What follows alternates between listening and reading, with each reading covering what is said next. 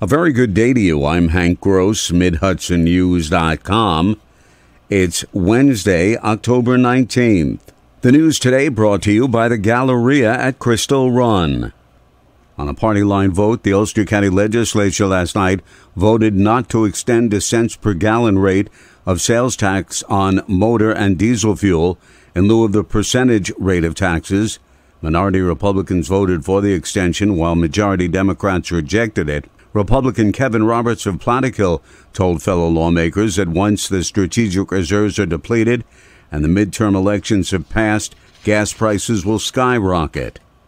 The head of the statewide United University Professions Union told a SUNY New Paltz rally on Tuesday that Albany must provide more of a financial commitment to the state university system.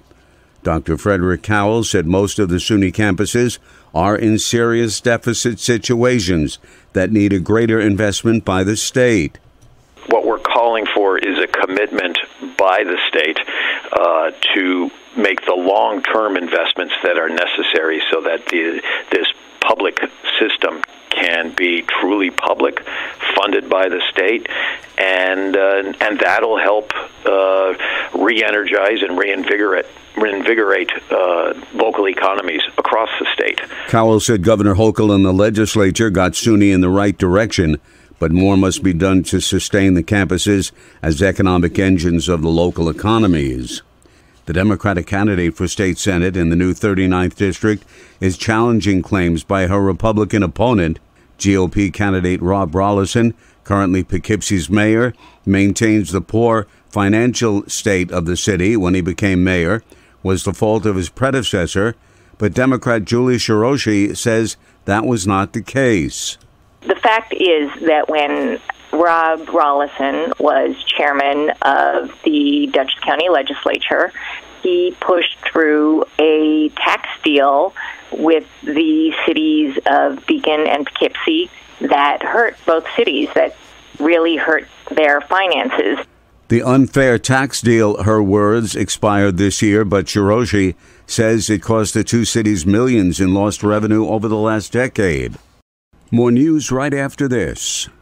It's time to get spooky with DJ Echo, Gold's Gym, and Selfie Galore at the Galleria at Crystal Run Friday, October 28th for their Halloween spooktacular. Haunted house, photo booths, even a kids' DJ dance party, and candy while supplies last. But it's only Friday, October 28th from 5 to 7.30 p.m. at the Galleria at Crystal Run in Middletown with DJ Echo, Gold's Gym, and Selfie Galore, Orange County's premier shopping, dining, entertainment, and Halloween spooktacular destination. Learn more at GalleriaCrystalRun.com. A $300,000 state grant will fund extension of water and sewer lines along the Kings Highway corridor to the Mount Marion Firehouse in Saugerties, nearby homes and local businesses. The grant secured by Senator Michelle Hinchey will fund a water infrastructure capital project that will extend clean drinking water and a sanitary sewer system from Industrial Drive South to the firehouse connecting 14 homes, four businesses, and the fire department to a municipal water supply for the first time. A father and son from Central Valley were both sentenced in federal court to prison for defrauding their lenders and the IRS. 73 year old Mehdi Moslem was sentenced to three and a half years in prison, and his son, 39 year old Saeed, was sentenced to eight years behind bars.